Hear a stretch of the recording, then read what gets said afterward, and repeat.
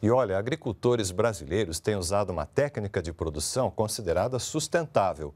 É a integração lavoura-pecuária, que permite aumentar a pastagem animal e ainda assim produzir grãos na mesma área.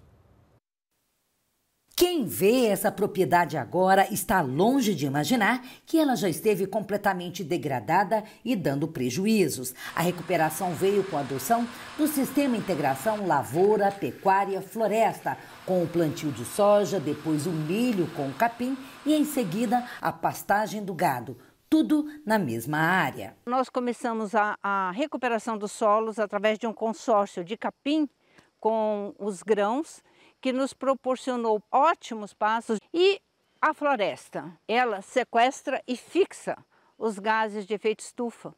A integração lavoura, pecuária, floresta é uma estratégia que diminui os custos e aumenta a eficiência do uso da terra, gerando maior produtividade e baixo impacto ambiental. E o governo tem incentivado cada vez mais esse tipo de cultivo no país, por meio da linha de crédito do programa ABC. Muitas vezes o produtor se encontra descapitalizado e para iniciar uma atividade dessa ele vai exigir capital.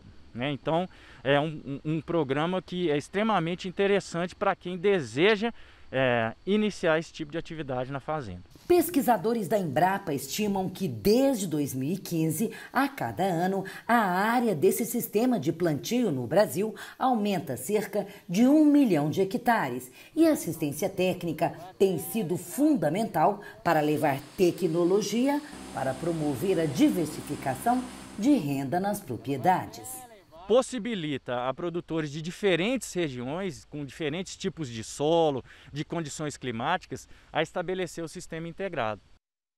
Olha, se você quiser saber mais sobre esse sistema de integração lavoura, pecuária e floresta, é só acessar embrapa.br.